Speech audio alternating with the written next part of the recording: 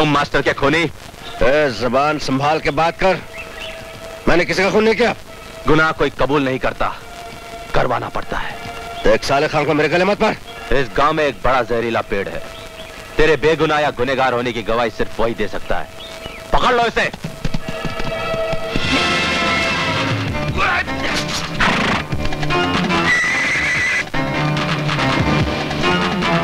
ले चलो साले को।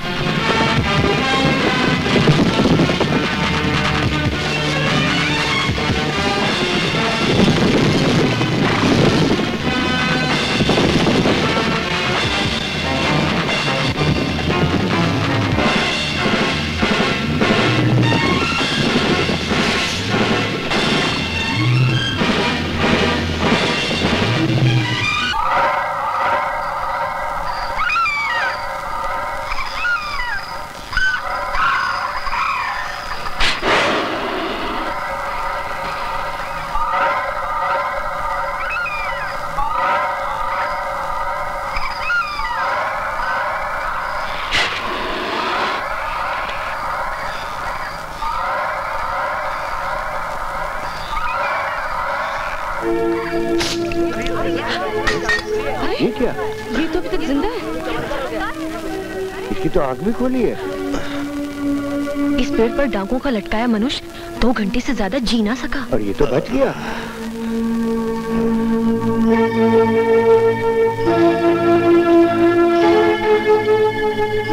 अरे जल्दी उतारो इसे। हाँ। अरे जल्दी उतारो भाई। खून हाँ। मास्टर का खून है वो। जिनका कत्ल इसने किया है। अगर ये मास्टर का खूनी होता तो मास्टर को लेकर गाँव में क्यों आता? मास्टर और मास्टर का बेटा डाकुओं को बंदूकें सप्लाई करते थे। बेटे के मर जाने के बाद मास्टर को एक आदमी की ज़रूरत थी जो डाकुओं को बंदूकें सप्लाई कर सकता था। इसलिए वो इसे शहर से ले आया। मगर जैसे ही उसने इसे बंदूकों के कारोबार के बारे में बताया इसके मन में रुपया कमाने की लालच जागी। और इसने मास्टर का खून कर दिया। क्या बकवास कर रहा है? मैंने किसी का खून नहीं किया। इसी ने खून किया है। ये कसूरवार है। मगर तुम्ही ने तो कहा था कि अगर ये इस जहरीले पेड़ से बच गया तो बेकसूर है और अगर मर गया तो गुनेगार और ये तो बच गया भैया। मतलब ये गुनहगार नहीं है। हाँ, हाँ ये गुनहगार नहीं है। ठीक है ठीक है। इस पेड़ ने तुझे ज़िंदगी दी है। लेकिन एक बात याद रख। अगर यहाँ रहकर बंदूकें सप्लाई करने की कोशिश की तो मेरी गोली का निशाना बनेगा। क्योंकि जब तक मैं ज़िंदा हूँ इस गाँव में ना किसी गलत आदमी को आने दूँगा और ना ही कोई गलत काम होने दूँगा। समझा? चलो हटो।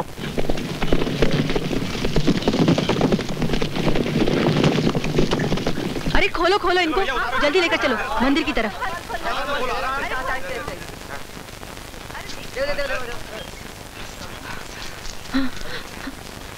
कोई पानी लाओ।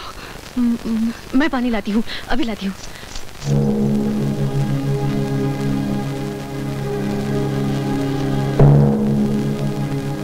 चलो हाँ, पानी ये लो पानी पी लो।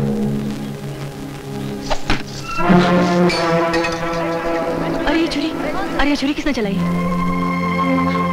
अरे ये वार किसने किया? कौन है?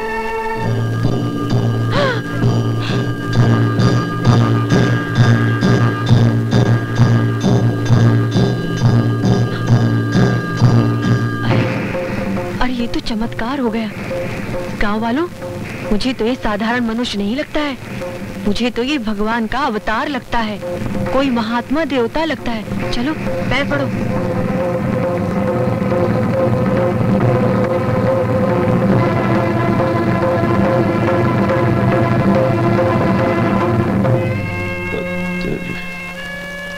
ने दारू की बोतल पंक्चर कर दी।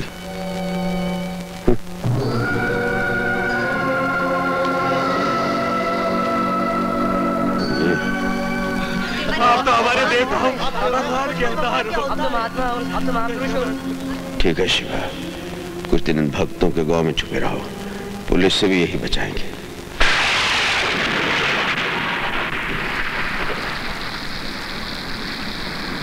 क्या? शिवजी की मूर्ति से खून निकल आया। हाँ भैया।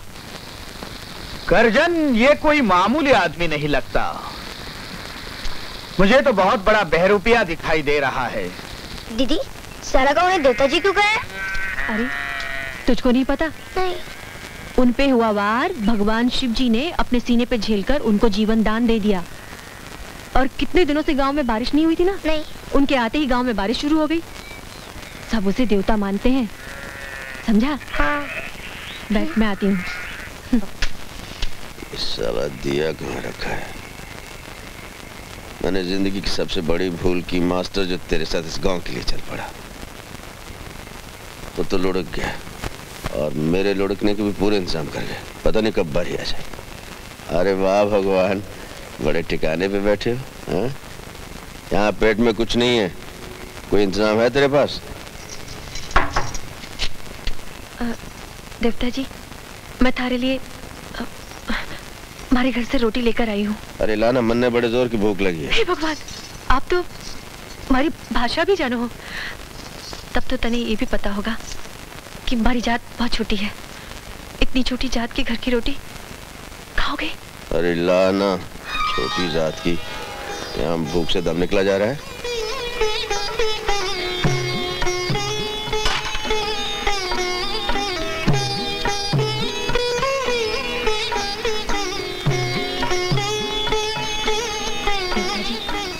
जात पात ऊंच नीच का भेदभाव न मानो? बिल्कुल ना मानो। अरे सुनो मैं कोई देखा व्यवसाय नहीं हूँ। क्या बात बोले हो?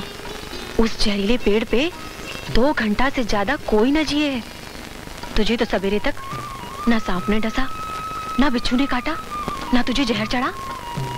देखो मन ने सारे जमाने का जहर पी लिया है। अब शाम मन ने काटे वो मर जाए हाँ। बिच्छू मन ने काटे वो मर जाए। यूँ समझ ले कि मेरे शरीर में खून कम जहर ज़्यादा है। हाँ। हाँ देवता जी। शिवजी ने भी सारे जमाने का जहर पी लिया था। मैंने कथा में सुना था ना जहर शिवजी पे चढ़ा ना दुनिया का कोई जहर तुझ पे चढ़ सके। आप तो अंतर्यामी हैं। हमारे घर की रोटी खा के तने तो मैंने सबरी बना दिया है। जिसके हाथ से राम ने बेर खाए थे। मैं कोई राम वाम नहीं हूँ। हाँ? तो जानना चाहती है मैं कौन? हूँ मैं जेल से भागा हुआ एक खतरनाक मुजरिम हूँ। अपना काम निकालने के लिए मैं कुछ भी कर सकता हूँ। अरे सुनिए देवता जी तने हमारे साथ मज़ाक करे हो। देवता जी झूठ बोल रहे हो? यकीन नहीं आ रहा तन्ने। नहीं। हम्म, नहीं आ रहा। आ गया यकीन के एक और हाँ?